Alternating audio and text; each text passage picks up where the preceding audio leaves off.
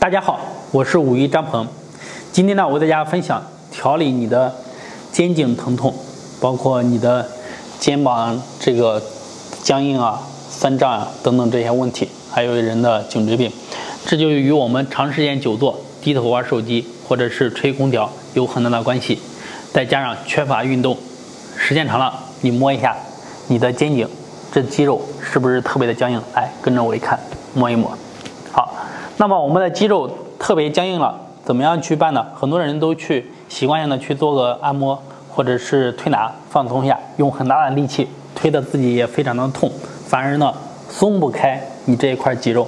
那么今天为大家讲一个特别简单的方法，你自己可以给你自己去做。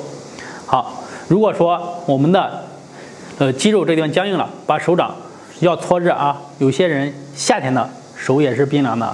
手冰凉的一定要搓热，搓完了以后呢，好，刚好把我们的手抓着我们这个肌肉，好，放在这抓好，好，就往这一放，然后做什么呢？就轻轻的按揉，轻轻的按揉，一定不要用力，要轻轻的按揉，好，你就这样按揉个呃十分钟，十分钟啊，不要按揉太少，可能你刚开始做做不到，因为胳膊会酸，那么我们就嗯少做一点，也要做，就这样按揉。先按揉，按完了以后呢，才是轻轻的拿捏，轻轻的，不要用力啊！大家一定要听好。好，如果说你越用力，用的劲儿越大，用的力气越大，不但按不开，久而久之，这个地方给你按的更加劳损，那你在调理就非常难了。好，轻轻的按揉，十分钟以上是最好的。当然，你实在没有时间，做个三到五分钟也可以。好，做完了以后要换，换另外一边，也是一样。好，然后先扶着，抓着按揉。去轻轻的按揉十分钟，因为你按十分钟以后呢，你整个这个肩是非常发热的。按完十分钟以后，你可能感觉到你的手都是潮湿的，甚至手是冰凉的。再去摸你这一块肌肉呢，它就变得温热的，然后柔软。这个时候呢，我们再去给它按摩拿捏，轻轻的去做一做，它就开了，它就开了。相对来说，做完这两块，你整个脖子的肌肉，它就完全就松下来了。